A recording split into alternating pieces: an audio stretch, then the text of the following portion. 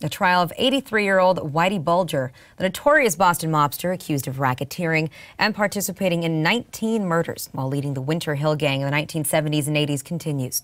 And this week, his defense team released photographs to show his softer side. And this included a snapshot of Bulger with priest Frederick Bulger with, Frederick, with priest Frederick J. Ryan, who's been accused of child sex abuse. Now, Bulger's attorney spoke to an ABC local affiliate to explain these photos. If Mr. Bulger takes the stand, he will discuss all relevant subjects for as long as necessary.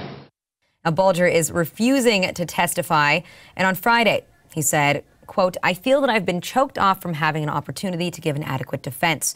My thing is, as far as I'm concerned, I didn't get a fair trial, and this is a sham. And do what you want with me. That's it. That's my final word. Now, Bulger has pled not guilty to all counts, and the trial does continue.